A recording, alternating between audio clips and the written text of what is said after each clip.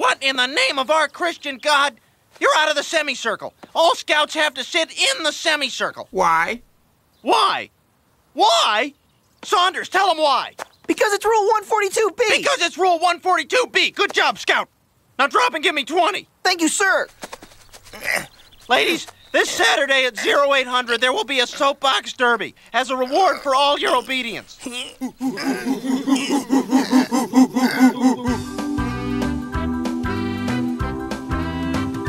Mom, Dad, I really like Potsy. Why not, dear? Potsy's a very nice boy. Uh, no, Mom. I-, I mean, I really like Potsy. We heard you the first time, son. You have a homosexual attraction to Patsy.